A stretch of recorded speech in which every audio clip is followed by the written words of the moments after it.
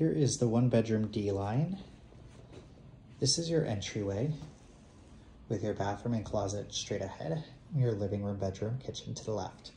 We'll start this way with our coat closet. It's a good size, goes deep back, has a shelf and a hanging rod. And then into the bathroom.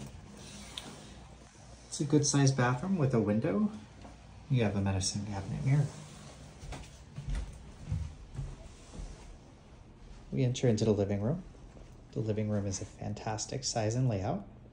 You could set it up in a variety of different ways.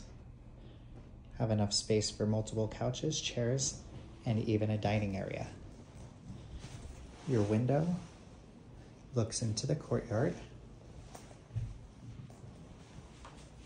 And then another angle of the living room here. So as you can see, it's very well laid out and spacious. Right past the living room, we get into our kitchen. The kitchen's a great size, plenty of storage space. You have your dishwasher,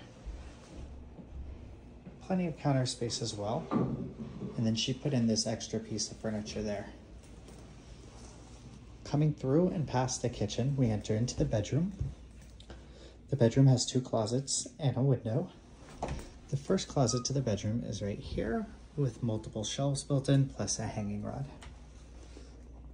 The bed that you're seeing in the video is a full size, comfortably fits with plenty of space for walking room, and then an extra area over here for furniture. The closet here has two built-in shelves and a hanging rod.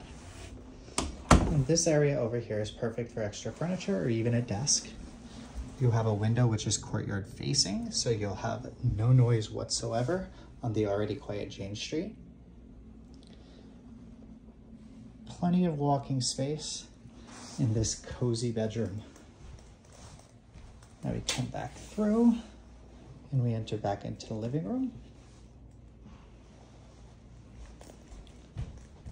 We have our entry area and this is our one bedroom D-line.